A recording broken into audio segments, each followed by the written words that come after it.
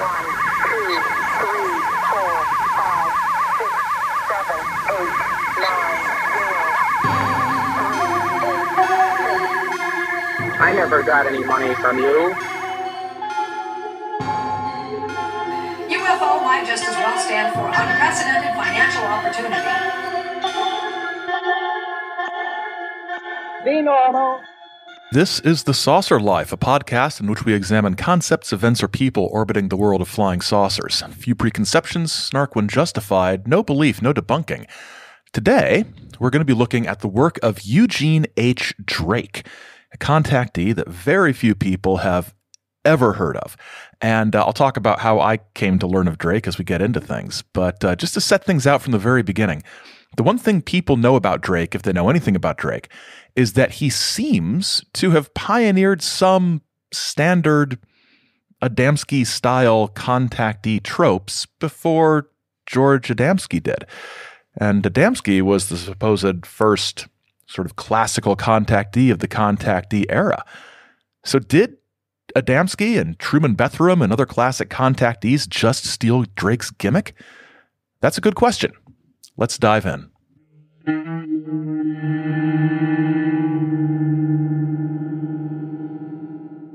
So I first heard about Eugene Drake back in 2017, not long after I started this show, um, on a website run by Håkan Blomqvist out of Sweden. I think he's I think he's with the Archives for the Unexplained. Lots of great contactee information there. And then I, I promptly forgot about it until I think a listener wrote in about it a month or two ago, and I, went back to uh, to, to the link that uh, that they shared, and I realized I, I, had it bookmarked and I recognized it. Um, and then, of course, of course, after I started working on this episode, um, right around the same time I started working on this episode, actually, Curt Collins and Claude Falkstrom over at their great blog, The Saucers That Time Forgot, uh, posted a, a very extensive story covering uh, covering Eugene Drake. So I've been scooped, but hopefully there are still a few of you out there that aren't in the loop on Eugene Drake, and hopefully uh, we'll be able to um, to provide some uh, some additional insight and some additional ideas about this because it's a very interesting story and really highlights the role that that promotion and, and self promotion played in some saucer fiends uh, becoming household names, at least among households who pay attention to UFO stuff, while others do not. And that's something that continues to this day, obviously. And I will make sure there are links to the Saucers That Time Forgot article and uh, Håkan Blomqvist's article and and some other links that I used uh, in the in the show notes. I'll make sure those are there. Now on to Eugene Drake. Who was he? Well, he was born in Pennsylvania in 1889. And by the early 20th century, by about 1910 or so, he was living in the Los Angeles area. He married, he had two daughters, he did various kinds of office work, and was also getting involved in the film industry in various ways. And some of these things led to some problems for him in 1922. Here's how these problems were reported in the April 22, 1922 edition of the San Francisco Examiner. Cashier is held here as forger. Charged with forgery of $6,400 in checks of the New England Life Insurance Company, Eugene H. Drake, cashier of the company in Los Angeles, was arrested here last night on a warrant from the Southern City sworn out by William A. Hamilton, general agent of the company. According to detectives David Murphy and William Prohl, Drake confessed to having realized upon the forged paper, using it in financing the feature film producing company of Santa Monica, of which he was president. So, stealing checks from his employer and using those checks to embezzle some money uh, or forge some money or steal some money, however you want to talk about it, from the insurance agency he worked for to finance the production of a film he was working on. So, I wasn't able to find out what happened as a result of this case. Uh, he he confessed, so I assume there was some sort of guilty plea, but no one else has been able to figure it out either, uh, from what I've been able to see. So, regardless of how things turned out, Drake remained in Southern California, working in several fields, according to census records.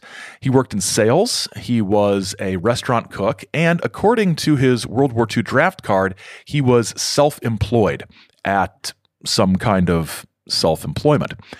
At some point, probably during the 1940s, although I've nothing to back that up other than the fact that we don't hear any mention of it till the 1940s, Drake established something called the Fellowship of Golden Illumination and was doing lectures around Southern California. This ad appeared in the Long Beach Press Telegram on Saturday, November 13th, 1948.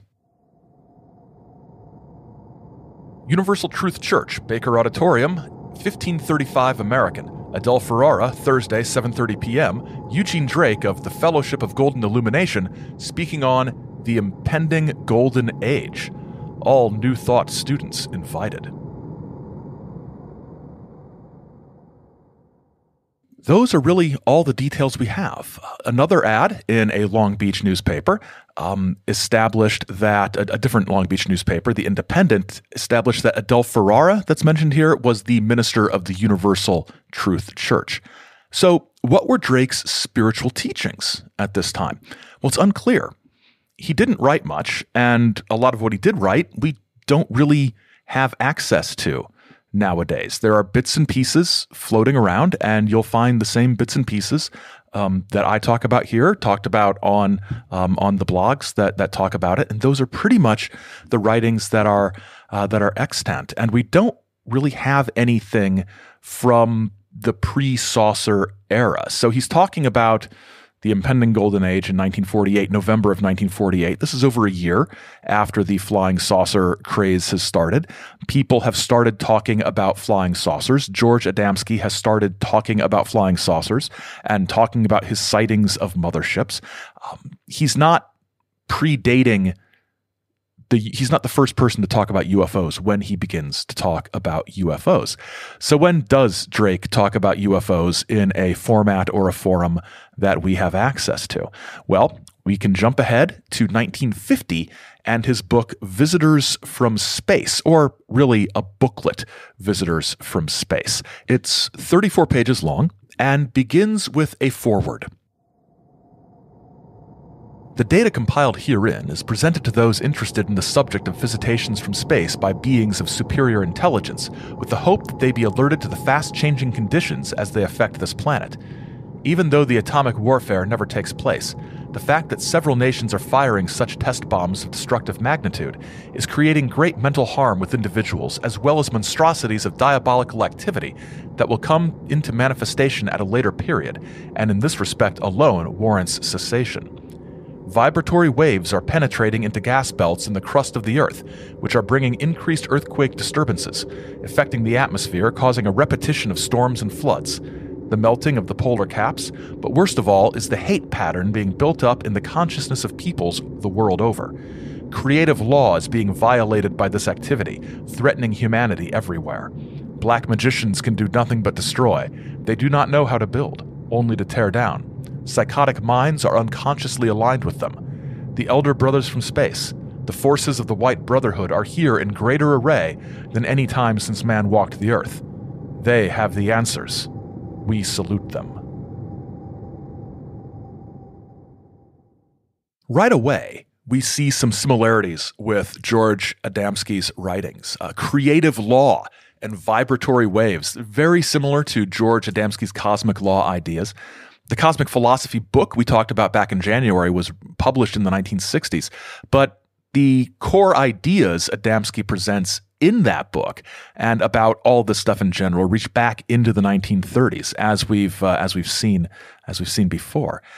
So let's take a look at this flying saucer book and we'll return to the idea of of what things might have been taken from where and from whom uh, later and as we go. So don't worry, I will solve this entire mystery of who might have been copying whom, probably.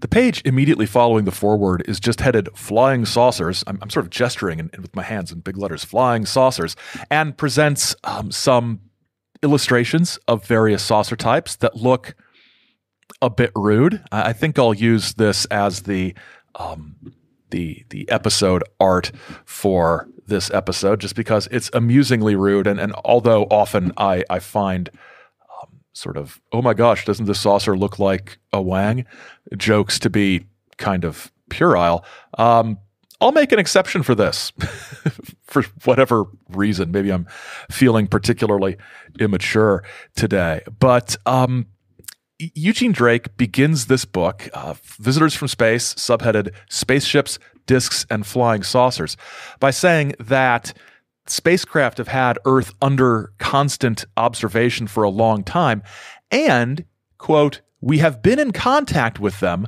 since 1930.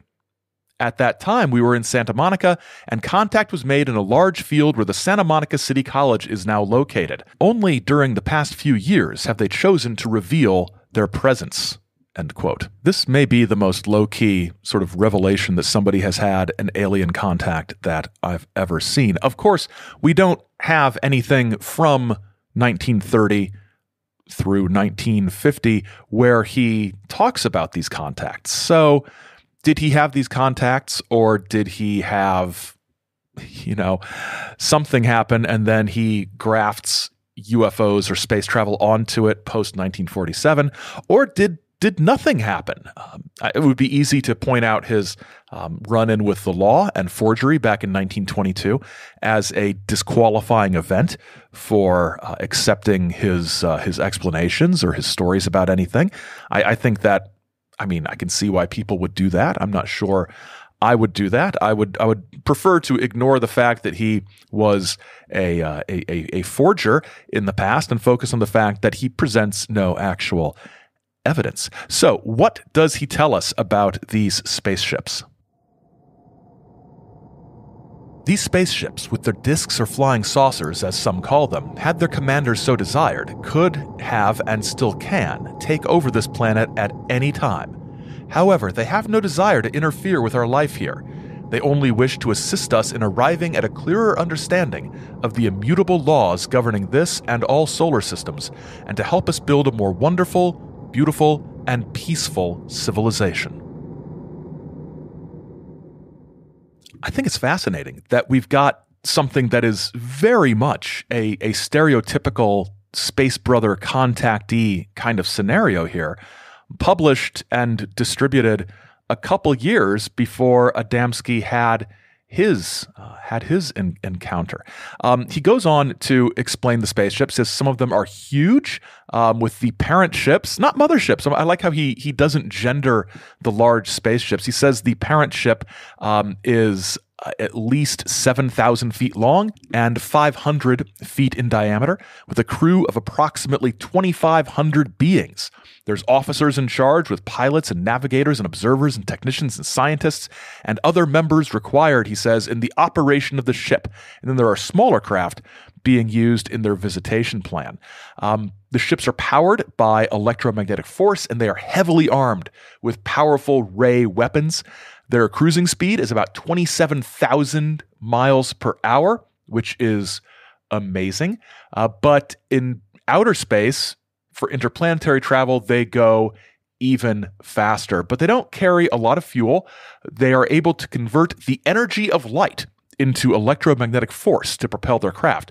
I'm not sure how that would actually work. This further explanation of how they operate is is kind of interesting for reasons that I think you might find interesting. I had no way to end that sentence. Let's turn it over to Eugene Drake. They come into our atmospheric belts from their planets not in solid form, but in an etheric form. Upon entering our atmosphere, they, through their superior knowledge, change the atomic elements in the construction of these ships and materialize them into the density which they are now using. The beings on these various craft are also passed from the etheric to a dense form of matter and appear to materialize. By speeding up the vibratory frequency of the atoms of the elements of which these craft are made, as stated before, they can move with great speeds, invisible to our physical sight, and when they desired, slow them down and congeal this atomic energy to a more solid form. There are elements known to them of which our scientists have no knowledge or understanding, which they use and mold in whatever form, idea, or shape they wish.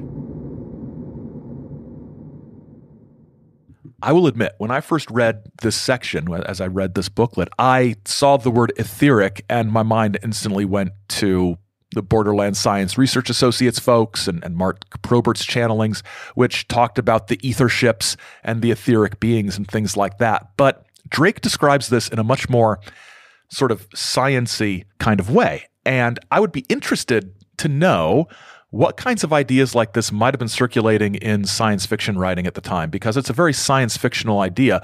Although, like many science fictional things, except for flying cars, we see echoes of it in our own uh, sort of scientific and technological development here in the 21st century. Uh, one of the things this idea reminded me of that that there's there's matter that they can shape and form into whatever they want reminded me of the idea of catoms or claytronic atoms, basically programmable matter that um, that some uh, some people are working with. And I, I will admit that I, I, first learned about this idea in a Star Trek book, uh, probably 15 years ago. So I'm, I'm not some sort of you know science uh, science news nerd, but uh, I am a Star Trek nerd, and that's where I, I find these ideas. But the idea that there is this matter that can be programmed or shaped into any number of things uh, is is pretty fascinating. Sort of, sort of has you know relations to nanotechnology and, uh, and and technology like that. Drake goes on to explain that the Space Brothers are obviously concerned about the atomic weapons that we have been setting off, uh, and they are, quote, assembling for the increased violence on the Earth, the speeding up of the so called Cold War, and also to keep the atmosphere cleared of radioactive vibrations, end quote. There are holes in the atmosphere that have been created by the use of atomic weapons. However, the Space Brothers have um, have fixed that, and quote they have sent what they call fireballs blazing through our air to purify the same of radioactive particles and to prevent further vibratory waves traveling to the other planets, rather confining the same to where they are originating. So, atomic weapons testing has wrecked some stuff, but it's been fixed. And it presents a danger to the rest of the universe, but they have fixed that as well. So this is what they have come to uh, to, to, fix. And uh, the commander of the mission that Drake talked to had some things to say to explain about this. The commander in charge of this expedition, to whom I've been talking, advised that any wide scale atomic or hydrogen bombings will necessitate the use of powers beyond our conception to eliminate laboratories, airplane plants, planes, and such plants where such bombs are made and assembled, and the planes carrying them, as well as take in charge the beings controlling such destructive activity. Many of these space visitors are from Venus, Mars, Saturn, Jupiter, and Uranus, although some of them are coming now from other solar systems, working in harmony with those whom we call elder brothers of this solar system. The solar system is in charge of a great cosmic being who directs all life under the great creative plan. The elder brothers or Etherians work under his direct supervision. Civilization will not be permitted to be destroyed as it was almost during the struggle between the Titans and the Atlans, Lemurians, prior to the sinking of Lemuria and Atlantis. Lemurians, Atlanteans, ancient destructions, um, elder brothers, and great beings controlling things, and, and the reference earlier to the uh, the White Brotherhood there's a lot of this that goes back to earlier esoteric and theosophical ideas, as we've seen in a number of examples from contacteism and early UFOism during the 1940s and early 1950s. Um, there's not much new about what Drake is saying for us who have read about these things before. But what is interesting and what was new at the time, at least in a printed form, as far as I can tell, is that Drake was connecting these esoteric ideas explicitly to human like beings from solar system planets who have concerns about the atomic bomb. Now, I say in print because we know that George Adamski was talking about these things.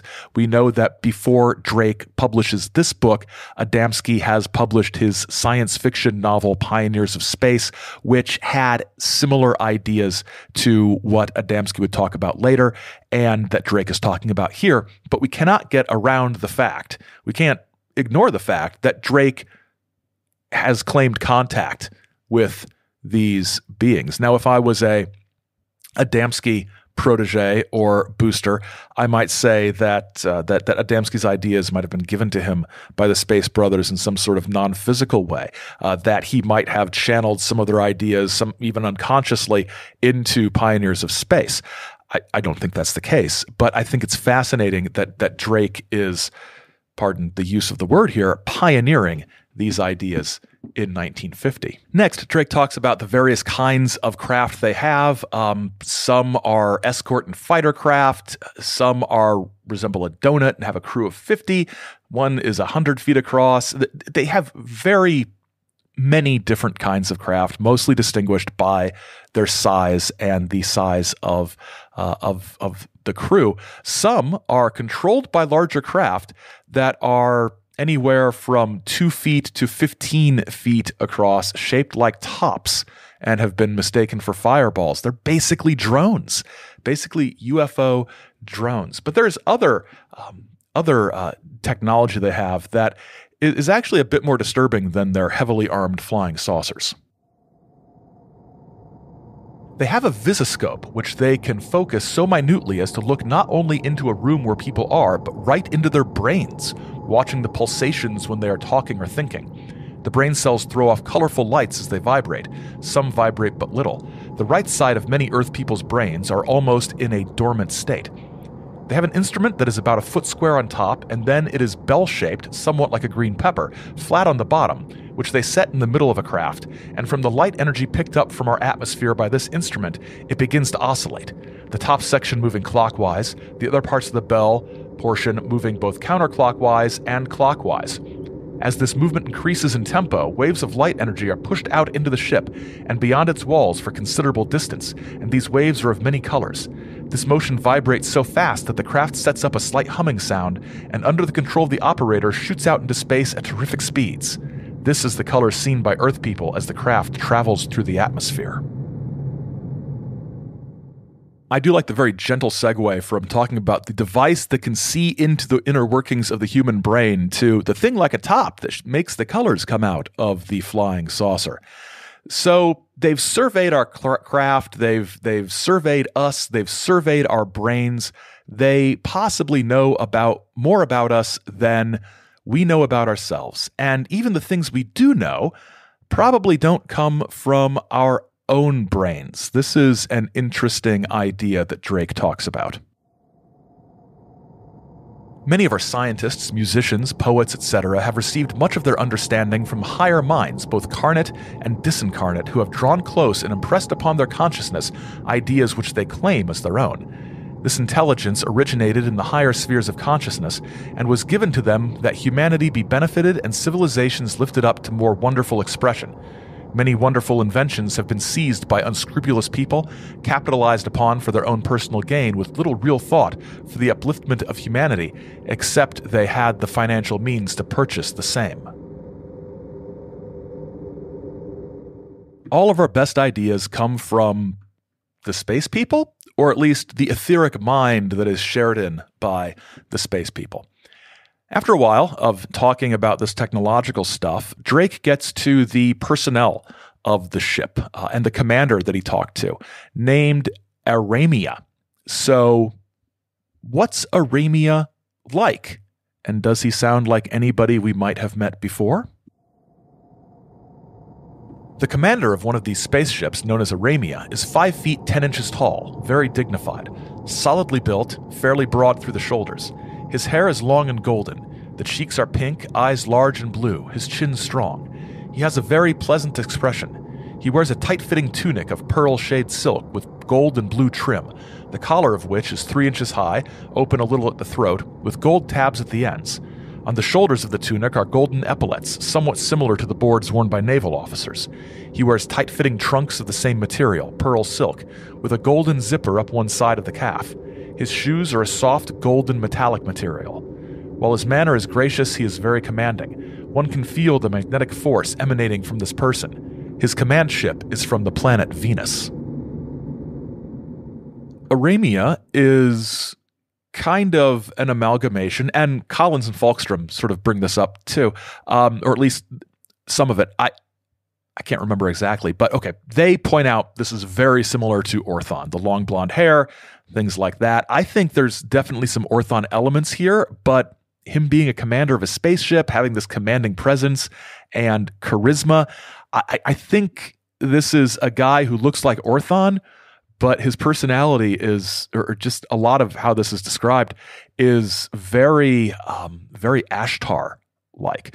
So this is interesting. It's like uh, it's like a pilot episode for the entire contactee era. A little later, we learn more about uh, about the crew and about what they wear and what they look like. And I've got to say, these these uniforms sound very kind of ornate and very cool with the the gold and and the, the golden zipper up the calf. I like that. Uh, I like that detail. But who else is on the ship? The crew is composed of Venusians from 36 to 42 inches tall. They are well proportioned. Their skin is a light cream color covered with fuzz like hair, like the down on a peach.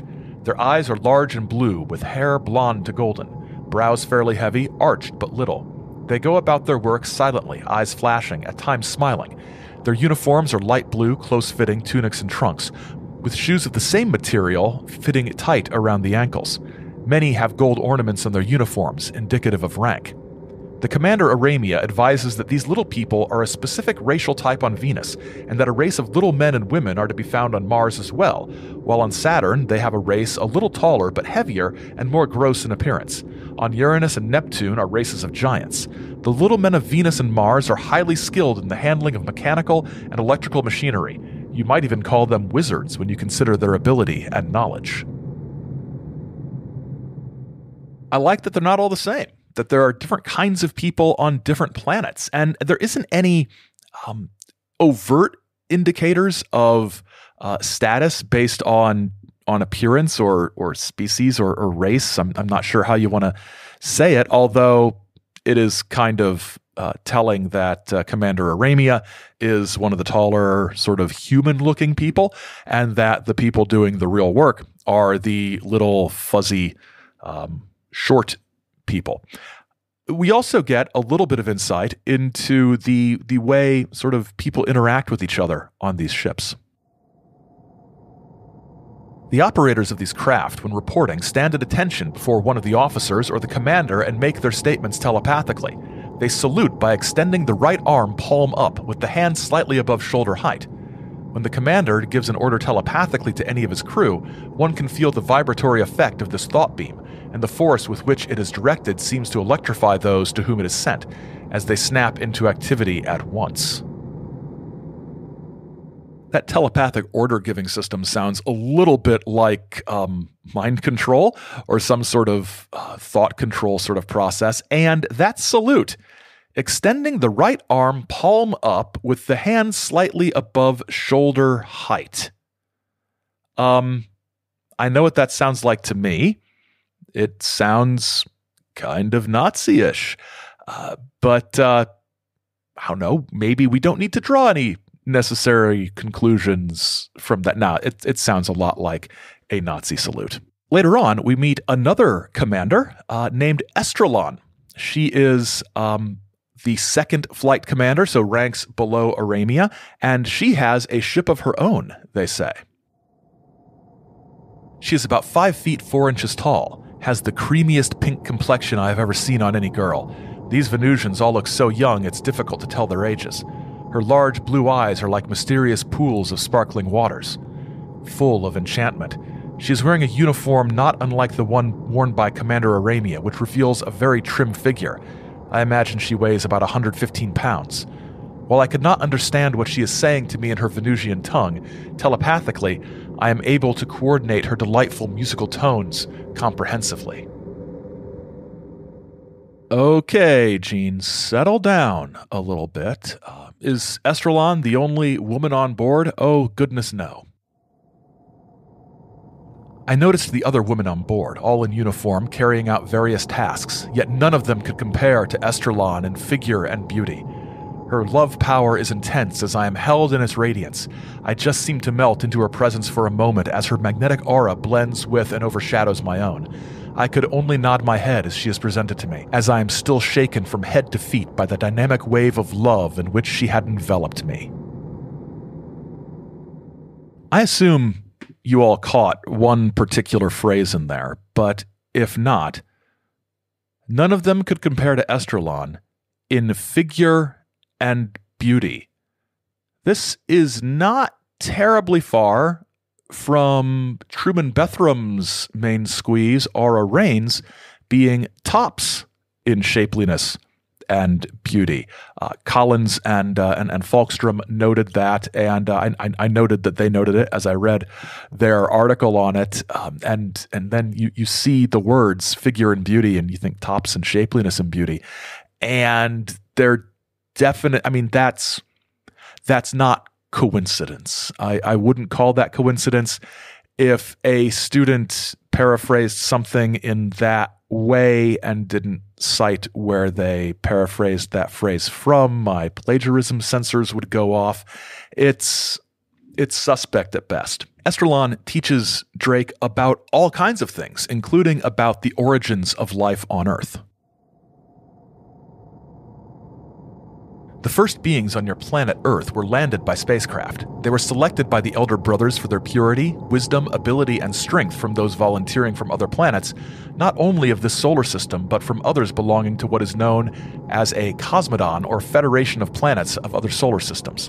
Their instructors were from the planets Mercury and Venus, who, when their period of instructed had ended, returned to their respective planets. Other planets are now being peopled in the same way now. As we get toward the end of the book, and I should say that idea of the space people seeding our planet with their own people, another very common idea that is going to arise in some contactee and some non contactee UFO writings throughout the, the 1950s and 60s. There's a lot here that Drake is putting together. He, he's not inventing anything really from whole cloth.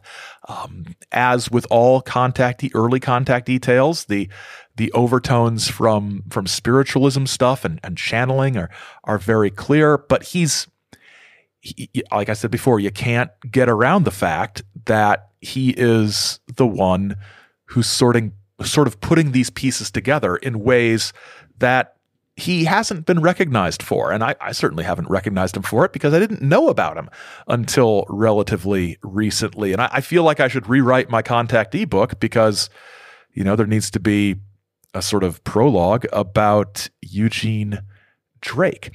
Near the end of the book, Drake is able to meet with some people from planets other than Venus. The Jupiterians are very dignified and stately. The leaders are very tall and dark skinned. They have peculiar facial expressions unlike those of any other planet. Their eyes are large, soft, and very brilliant, dark brown in color. Their faces are long, one half longer than people of Earth. Some of these stand 7 to 12 feet tall. They are very well built according to Earth standards. Their women are very beautiful, graceful, and well formed and are considered some of the graceful of the planets, even though they have this odd facial characteristic. Their skin is very smooth and radiant. Some of the men wear beards. Visitors from Space closes with Estrelon and Aramia speaking, uh, giving a speech sort of in in unison or, or together. And they they basically reiterate this idea that the people of Earth, the leaders of Earth, need to um, need to get their act together. And uh, they they sort of get into some geopolitical stuff here. We, whom you call space beings, are not deceived by your window dressing, peace talks, for we are now in possession of the facts. We know the secret plans in the vaults of all nations. We know the people of Earth want peace with all other people. We know that certain leaders do not want peace, except as they can dictate it. We know that your group of nations have lost control of the situation and are not able in their divided activity to bring about peace because within their own ranks they are not in agreement. We know the basic principles set forth when this group was organized was not actuated by holy premises, therefore will not endure any more than your past League of Nations.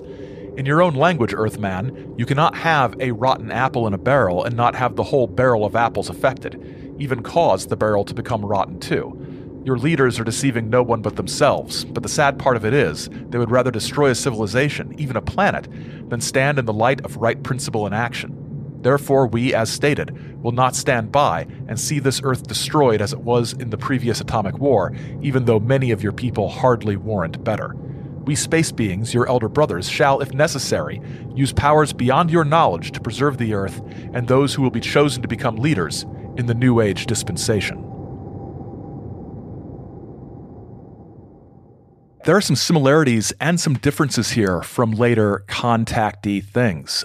The idea of protecting Earth in some way from disaster and preserving some of the people who are worthy of being quote leaders in the new age dispensation is very much like what would be promoted in the ashtar books later in the 1950s and onward through um, the present uh, the present day. Of course both of both this and the uh, the Ashtar stuff have heavy overtones of uh, eschatological overtones of of a rapture of the worthy and things like that. So it might not be that somebody like George Van Tassel was copying from Drake um, in so uh, as as much as you've got Drake and Van Tassel both sort of copying from the Book of Revelation or something. But the spaceship angle makes it again again a little a little suspect. So that's a similarity, but a difference I think is from from the the Adamski stuff at least is that these these space brothers are perfectly willing to to to intervene. Uh, there, there's no indication that they expect Earth leaders to do the right thing. And they do draw a distinction between the leaders of nations and the people in those nations, which I think is uh, is nice.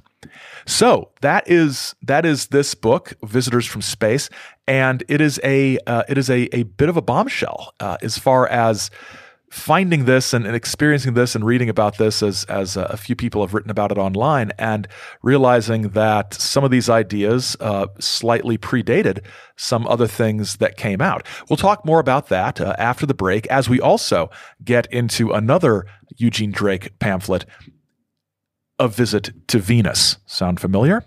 If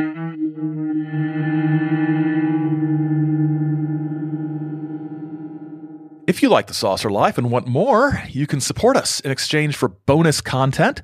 Uh, our most recent uh, bonus episode for The Saucer Life over at the Chizo Media Patreon um, involved uh, looking at some current events in UFO world and the UFO hashtag UFO Twitter response to those, as well as a, uh, a video watch along of a TV program from 1955, wherein an old man in Ireland thinks he sees aliens. Um, that was that was a lot of fun. It's been almost a year since we started up the Chizo Media Patreon, and we've built a nice library of materials there, not just from the Saucer Life, but from uh, our other show, Great Lakes Lore, as well. You can check it out at patreon.com/slash Chizo Media or via the link in the show notes. You can also check out past episodes of the show at Saucer Life or inside your favorite podcast app. And as always, we're in, always we're on Twitter and Instagram at Saucer Life, and you can email us at thesaucerlife at gmail.com. If you would like to contact us by post, which is always fun, you may do so at Chizo Media, P.O. Box 68, Grand Blanc, Michigan 48480. So now we have some feedback on our uh, incident at Exeter episode. And um, the the one comment I got more than ever, more than anything else, from a couple different people was uh, some surprise and in some cases some disappointment that I didn't talk about Fuller's incident at Exeter book. And I do want to be clear, I have read the book. I did read the book. I just didn't read the book until after I had looked through the the Project Blue Book materials. And for better or worse, while there is some incredibly interesting stuff in the Fuller book, I uh, I do stand by my decision to have focused on the um, focused on the Blue Book reports and that sort of paper trail and that back and forth as sort of the focus on that episode. Correspondent Lester says, Good, calm UFO story, but boring. No Schmidt type con men, no Carr type obsessive nutburgers, no cults in consequence. I look forward to a Sean David Morton episode. Also, more UFO cults, um, that of Bo and Peep, etc. Yeah, it was a uh, a good, calm UFO story. I don't think it was a boring story. Uh, you can't have Reinhold Schmidt every time. Uh, we'd uh, we'd we'd have to close down for lack of interesting con artists. Uh yeah, there's going to be a Sean David Morton episode. at some point. That's a that's a big job though. Uh, Doc uh, Doc um, Doc Pinko on Twitter says, maybe I'm off base with this comment. Tell me if you think I am. But if Bertrand says he doesn't know what the UFO was, he can't, therefore, be certain it wasn't an aircraft. Maybe I'm overthinking it. We academics can do that. We certainly can. Um, I don't think you're overthinking it. I think that uh, Bertrand, you know, it, he did say he doesn't know what it was, but he knows it wasn't any sort of conventional aircraft with which he was familiar. Um, he doesn't jump entirely into the UFO or the extraterrestrial hypothesis, but um, there is some wiggle room there in what he's saying for some type of non-conventional terrestrial aircraft to be uh, to be at fault. Uh, Debbie, sort of speaking more generally and sharing an interesting story, Debbie says, Hello, saucer people. Since Aaron and the saucer wife are in Michigan, I want to share this little trivia with you. I've been listening to audiobooks of the Cat Who series by Lillian Jackson Braun, available on YouTube. They all take place in a fictional county in the northern Midwest of the USA, far from any big cities. The county and towns are not real, but many think the author was thinking of Michigan, probably the UP. 400 miles north of everywhere, as the characters say. The one I last listened to is called The Cat Who Saw Stars and follows the lead character, a newspaper reporter, and his two Siamese cats on a brief vacation in a cabin on the shores of a large lake. This resort community claims to have an unusual number of UFO sightings, and many residents believe they are being visited. Our hero scoffs at this for the whole story until at the very end, when he has a strange experience of his own. I have to wonder if Ms. Braun was aware of Michigan's claims of this kind of activity. It's a sweet and interesting story, and your listeners might enjoy it. Just wanted to share how I'm finding the saucer topic crawling into many areas of entertainment. Love your show. Thanks for your work. Thank you, Debbie. And um, I haven't read uh, any of the Lillian Jackson Braun sort of uh, mystery books, and I, I think they unless I'm wrong, they very much fit into that uh, that genre of cozy uh, cozy mystery, which is incredibly popular. There is actually a paranormal themed cozy mystery series set in Roswell uh, that um, that the uh, the saucer wife and I are going to be reading and talking about for a, a Patreon bonus episode. So that's going to be uh, going to be kind of fun. But I think I might need to check out the cat who saw stars because that sounds like definitely like something I would want to uh, I would want to know about. Finally, we have an email signed from uh, a secret reptilian Dero from the center of the Earth. Just finished listening to the primary Gulf Breeze stuff, and a trend that I noticed there, and it really is a theme in a lot of ufology, seems to be that no one gets along at all. Ufologists, at least contemporary ones, seem to fit into a pattern of interesting viewpoint or person is adopted. Ufologists slash UFO nuts become personally invested in the new idea or person, defending zealously. Viewpoint becomes ingrained into the discourse to the point that even the disbelievers of person or argument are using it in their language. No new results, new findings, nothing of interest brings increasing ire as people have nothing new to engage with. People turn on the idea or researcher at an increasing pace, incorporating conspiracy language into why it failed. So and so was a plant, disinformation from X, etc. Concept is abandoned or defended by an increasingly dedicated fringe of the fringe. I know and am very interested in your research of conspiracy culture, and I'm wondering if there's any way to liberate ufology from this perspective. How do we stop the cycle?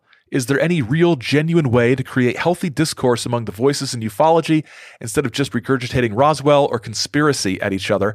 Thank you so much. Love the show. Thank you, secret reptilian Dero from the center of the earth. And I think your your sort of pattern of how UFO discourse works is is very easily easy to illustrate from various uh, various points in the history of the topic. I, I think you can pull out any number of examples of how this works. Now, as for liberating ufology from conspiracy, I, I, think as long as the bulk of ufology remains focused on an extraterrestrial hypothesis and physical objects in the air, you're going to necessarily have overtones of governments hiding things and government cover-ups and that of course is is always fodder for conspiracy thinking. I think the only real way to uh, to liberate ufology from conspiracism is or would be for ufology to increasingly move in a direction that it has been dipping in and out of in various areas for its very existence, of making ufology be considered one aspect of a broader spectrum of paranormal activity, uh, of of putting of putting ufology in the same category as hauntings or uh, little people sightings or other folkloric aspects of things. The problem with that is you can also have conspiracies that are based around those things. Why are the scientists covering up the extra dimensional nature of UFOs? Things like that. I don't know if there is a way to fully divorce ufology from conspiracism. I uh, sadly, I suspect that it won't happen in any sort of total way. But I, I think efforts to examine ufology and UFO sightings and encounters through a, a folkloric lens is a step in the right direction. But I'm not sure if the UFO industrial complex will um, will permit that. But it, it's a good question and something that that I've been uh, ruminating on for a, uh, a, a very long time. Increasingly, I am um, convinced that conspiracy thinking ruins so many things. But not Eugene Drake. It doesn't ruin Eugene Drake, at least not yet. So let's get back to Eugene Drake and his visit to Venus.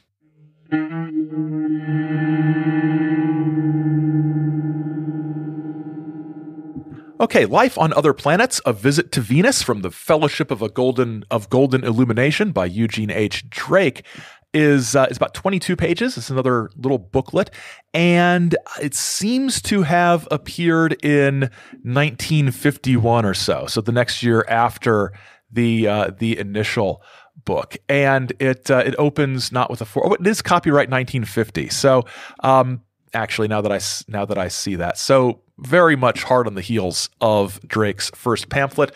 It's got a, uh, a, a, sort of drawing of the solar system on the cover, and inside the front cover there is a, a beautiful pencil drawing of the uh, the the space commander Estrelon, uh, a picture of her. Same picture that is in uh, in the first book. And instead of opening with a foreword, we open with a uh, sort of dedication and thanks to various people.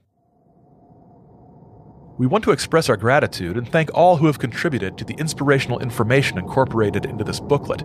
Venus, the planet of affection. Anil, Star Angel. Sanat Kumara, Logos. Aramia, Estrelon, Endros. Mars, the planet of action. Samael, Star Angel. Boo!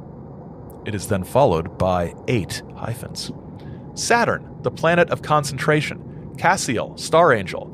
Ura, Jupiter, the planet of abundance, Zachariel, star angel, Barasa, and Alonzo P. Mathewson, astronomer, formerly court astronomer to King George III, now instructor of etheric realms. I'll be honest, I have no idea what almost any of that means. I recognize the names of uh, of Estrelon and Aramia, though. So, what is the the point of this book? It's a visit to Venus. Drake says first after, soon after, rather, his first contact with the Venusian commander Aramia and Estrelon, which he says the first contact was in 1930, but they're talking about atomic weapons. But he mentioned the League of Nations. I forgot to bring this up, but the League of Nations wasn't a thing by 1949 or 1950. The timeline really is all over the place. But in any case, he is having another contact. Uh, he is co- contacted by Aramia and Estrelon. He gets a visitation at, from Estrelon, who tells him to go to a certain desert location to be picked up. I kind of wonder if it was Desert Center, near where Adamski had his meeting with Orthon. On board the ship, he describes bunks and control panels, and, and he's being showed around by Estrelon. And it, they don't just walk around the ship, it's a strange way of, of sort of interacting and getting around. Estrelon is now standing in the control room watching the various panels. The operators have already taken their respective positions.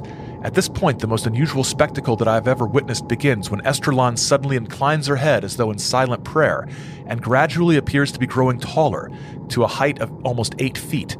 Powerful waves of magnetic and electrical forces emanate in all directions from her body. As I glance around me, everyone within range of my vision has become electrified and radiant, standing at attention at specific stations. Estrelon raises her right hand, moves it in a wide circle three times, and brings her arm down to her side. As she does so, I observe the expression on her face changing to one of commanding mien. All at once, the entire vessel is filled with a bluish white phosphorescent light. Officers and crew alike begin to glow in the light, thus becoming more etheric. Leaning forward and taking me by the hand, Estrelon lifts me clear of the ship's deck as though I were no heavier than a feather. In this position, I am carried to the room assigned to me, where I am put on the cot like an infant. Bending over me, she softly touches her lips to my forehead and then departs.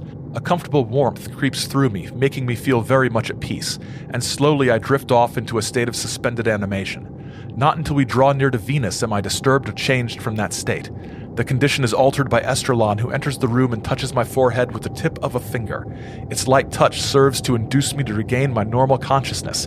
Then she gestures for me to follow her. I note that her size has resumed ordinary proportions, but none of the magnetism has departed. We enter the control room again, and I am led to the space mirror, where I stand fascinated by what I see. I think it's really interesting that he he sort of takes up this etheric idea and how their form changes at various times, and that some of their their personal electromagnetic energy is connected to the travel, and that he, as a human, I presume, because it's because he's a human, has to travel in suspended animation between Earth and Venus. I, I, think that's fascinating. So on the space mirror, which is kind of a view screen, what he sees is Venus, and he's they're coming into Venus. They're going through the atmosphere, and he tells us about it. It is a beautiful place, of course. The architecture is like nothing on Earth. Beautiful parks surround the buildings. The people are beautiful once they leave the ship and land. Uh, the people are beautiful. They're tall and blonde with blonde hair, tall and blonde with blonde hair. They're tall and blonde with golden hair, he says. Beautiful blue eyes sparkle with kindness. Their clothes are are very pastel, uh, pink, light blue, light green, lemon, orange, light purple, lavender, and orchid. Um, they wear gold jewelry and ornaments. It looks like a beautiful science fictional place. The people, he says, are highly advanced spiritually, mentally, and physically. Um, They've got magical technology. They, have got wisdom, uh, and then then he goes to Estrelon's house, which is uh, which is kind of neat, and he describes her uh, her lawn. The lawns are covered with a pinkish blue green grass, the blades of which are strange to me. The flowers are of such hue and shape that it is difficult to describe them. They resemble snowflakes in pattern, are radiant in color and dewy in texture. Their delicate fragrance is wafted upon the breeze, blowing softly around the spot. The trees are not tall, hardly 15 feet in height. They are colorful, as are the shrubs and plants. One does not see as much vivid green in the foliage on Venus as on Earth, but yellow and lavender are much in evidence. Gorgeous rose bushes flourish among the other flowers, which are interspersed by beautiful ferns. The Venusians inform me that the impending golden age on Earth will bring many startling changes in the foliage of trees, vines, shrubs, plants, and flowers, also, a sublime expansion in the personalities of its inhabitants will take place as the harmony of peace and brotherly love abides in the unfolding consciousness of the superior races that are destined to occupy Earth. I think it's a fascinating idea that the the golden age of of wisdom and and Earth being inhabited by beings who are fully in tune with the cosmos and things like that is going to affect the plant life and the appearance of the plant life. I think that is absolutely fascinating. We go through a few pages of basically Drake talking about Estrelon's family. Uh, of course, they're all beautiful and wise. The, the the father is is handsome and brilliant. The mother is is beautiful. The little sister is, um, I think it's I think it's a younger sister. That's the impression I got. Is beautiful and affectionate to Drake and is is wearing some outfit with a bare midriff. Um, so, uh, so, so Drake is is really, really kind of far gone on the um, on on the pretty space women. You just want to say, you know, you know, Grandpa Drake, please stop talking about the young, uh, the young women. And as we get to the end of this pamphlet, we uh, we see Drake. You know, he's able to enter the chamber where the members of the the Venusian Council are. Um, are and, and members of council from other planets are are meeting, and he uh, he's able to interact with their political leadership a bit. And what, what's great about it is um, it, it, there's there's characters and there's there's sort of plot development. And we see the relations between these people. He says, "While I'm in the chamber, I observe all the members of the council turn toward the door.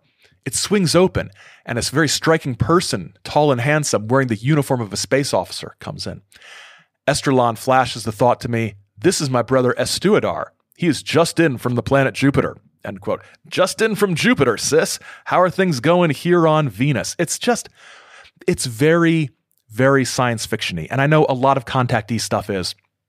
It always is. Um, very very sort of suspect that it's so science fictiony. But there's some great uh, there's some great writing here.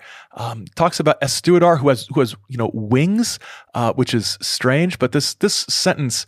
Um, this phrase is just great. Estuadar, the Birdman from Uranus. The Birdman from Uranus needs to be a movie. It might have been a movie. It feels like it should have been a movie. So as the as the book concludes, um, we we hear some more about very much um, very very similar to what we saw in the first book. Um, there are you know higher thoughts out in the cosmos and the ether on the vibratory waves that people who are sufficiently advanced can uh, can tune into. Uh, we hear more about the little people on these planets um, who are quote merely workers, which sounds a bit uh, a bit dismissive. They're the same people, I believe, um, who were working on the ship, uh, but it's it's it's very it's very interesting because, uh, and, and we're not going to read the whole book here together, of course. Uh, and I, I, probably did put the midway break a little past the midpoint. Uh, sorry about that. But it's interesting that, again, you've got so many items and so many like tropes and uh, stereotypes and and things that become such staples of the contactee genre. And they're here in these booklets from a guy that very very few people uh, very very few people know about. Now collins and falkstrom in addition to uh, sort of sort of you know picking up on uh, as as anybody who reads it probably would who knows about it probably would the the similarities between um, between Aramia and Estrelon and on the one hand and Orthon and Aura Rhanes on the other. Um, I, I think uh, Aura Rhanes is a bit less complex a character than Estrelon. But uh, another thing that, that Collins and Falkstrom point out is that uh, the the speech that Aramia gives uh, about um, you know we will intervene against you you leaders of destruction is is very similar to what Klaatu would say in the the 1951 version of the day the earth stands still so again, not just presaging contactee stuff, but presaging um, films as well. Films that were uh, often often shown as inspirations for contactee ideas. So those are the materials we have from Drake in that period before the main contactee movement starts up. We do have some other things, and uh, I am I am grateful to uh, the Saucers that Time Forgot for not just writing about this, but providing links to some of these primary sources. We've got a little bit of, of a, uh, a thing from Aramia uh, that was published in the Interplanetary News Digest, the second issue of that in um, 1954. And the Interplanetary News Digest was published out of Joshua Tree California. Um, Genevieve Johnston was the editor of it, and you you basically have some articles. You've got some um, some pieces from other people. Bob Short, uh, contactee, uh, is uh, has his visit with a spaceman in there. We're gonna have to do a Bob Short. Um, episode at some point, but there is a little bit from Aramia, from Captain or Commander Aramia in this edition. Aramia, the Venusian commander of a space fleet. Greetings, O people of Earth, from the planet Venus. We have outer space which to correct some of the statements being made by Earthmen. No Earth people are being picked up by our craft in their physical bodies, nor using your terms being kidnapped. We are only picking up our own people whom we have landed in certain areas. We operate from a higher dimension. In that density, our bodies are more solid than yours, but they vibrate at a considerably higher frequency. We have taken Earth people in their more refined bodies, the etheric, that they might be acquainted with our mission, but none in their physical bodies. Such would have to be placed in a state of deep trance or suspended animation to withstand the terrific light and power which our craft generate. We are masters of the elements and use our minds and telepathic powers in a manner which Earth people cannot comprehend. During the coming months, a great deal of mischievous activity shall affect the psyche of Earth people, emanating from dark magicians, former Atlanteans and Murians, who went underground during the struggle between those two races during the last atomic age. As stated before, these are the ones who surround themselves with such noxious odors, who would confuse and deceive man into thinking they come from outer space. They are very cunning, they have considerable scientific knowledge, and are able to use free energy to construct ships of this substance. We caution you to be on your guard. Protect yourself by thoroughly checking all statements, all disk activity, in the light of your Creator. Keep up your prayers for peace and impress your leaders that only through peace can you survive. This very much reads to me like a, a, a sort of, you know, be warned. The people who are calling themselves contactees are not actually contactees because you know, we would never pick up people in their physical bodies. That wouldn't work. There needs to be density changes and and suspended animation and and things like that. So it, it very much sounds like uh, like Drake is trying to um, trying to promote his own contact tales uh, over and above the claims made by others. But he doesn't write any books. He's publishing this stuff in his own obscure newsletter, or at least, yeah, obscure. We don't. It, it isn't. It isn't big compared to what you know the business that people like Bethurum and and uh, and Adamski are doing. It's it's obscure. Um, he he wrote some about uh, a UFO base in Antarctica in 1958 in the Golden Light uh, Golden Light uh, publication, uh, but um, it's it, it's you know it's as time goes on, it just becomes wrapped up in other UFO stuff. And uh, as far as I know, he didn't invent this Antarctica thing. We've talked about the Antarctica thing before. He would also later in the 1950s and I think into the 1960s um, begin or continue doing uh, doing um, doing talks and presentations. He would appear with Daniel Fry's Understanding organization. Uh, Collins and Falkstrom point out that there was a 1956 article uh, he was mentioned in in the Saturday Evening Post. Um, it says in Los Angeles, Eugene H. Drake, director of the Fellowship of Golden Illumination, photographs space creatures by infrared light and tape records their conversations. Drake claims to have toured Venus on a gravitonic sled. Um, by 1956, uh, in the Golden Light publication, he's talking about um, a, a building of worship in the Upper Joshua Desert where they've he's had his his contacts. Um, it's it's interesting. He pops up at the Amalgamated Flying Saucer Club of America uh, convention in uh, in 1959. Uh, he's mentioned in a book called Faiths, Cults, and Sects of America in a uh, in 1960, and then you know after the the early 60s, he kind of um, he kind of kind of drifts away, and uh, he dies in, in 1973 from what we can from what we can find. So, what is there to say about this Eugene Drake character? Um, I, I think it's maybe not quite fair to uh, just say, ah, Adamski and Bethurum plagiarized Eugene Drake. I, I don't think that's the case. Um, I wish I could know some more details about just what connections and overlap might have existed between Drake's organization in Southern California in the 1940s and George Adamski's organization in California in the 1940s and the Borderlands Science Research Associates people in the 1940s. All these things are coexisting at the same time, all sort of sort of generating space age ideas out of older theosophical ideas.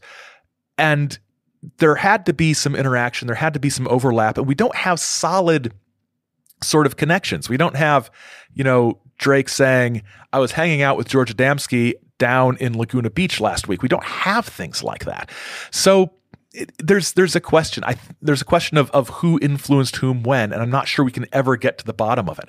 What I will say, I, I think, is that you've got some um, over time. You've got some sort of snowballing, um, rolling downhill kind of one-upsmanship and brinksmanship. You've got Adamski and Drake talking about theosophical ideas. Then you've got UFO sightings beginning in 1947. And so you've got Adamski saying that he is is seeing these things with a telescope and then he does his science fiction novel where he talks about the beings on different planets and their superior uh, their superior societies and civilizations. And then Drake one ups that by saying well back in 1930 I met these folks and I've I've been to um, been to you know Venus and I've met these uh, I've met these women. And then you have Truman Bethurum saying well hi I met a woman too. And Adamski saying well I met them out in the desert as well or not as well they're ignoring Drake you don't see you don't see Adamski talk about Drake you don't see Truman Bethurum talk about Drake what I want to know my biggest question is one, the first name of the Miss Tennyson who ghost wrote Bethurum's book about Aura Rhanes.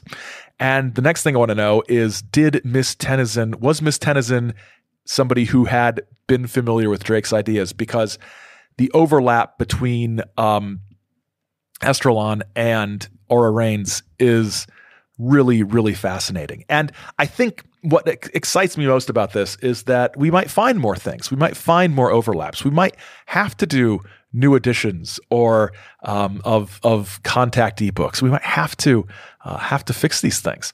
Um, but I will say that I was surprised and a little relieved to find that Greg Bishop and Adam Gorightly do not have an entry for Eugene Drake in their book A is for Ad- Adamski, their sort of encyclopedia of contactees. That was very gratifying that I am not the only person who completely overlooked Eugene Drake uh, or who didn't know about Eugene Drake or, or didn't honestly might not have had enough information to do an entry on Eugene Drake. But it's it's a fascinating thing. It's always fun to find one of these folks who you have never seen before.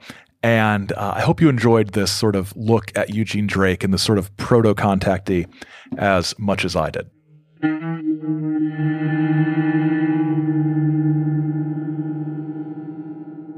Thanks for listening. Remember to send in your questions and comments via the usual social media or email channels. We'll be addressing those next time.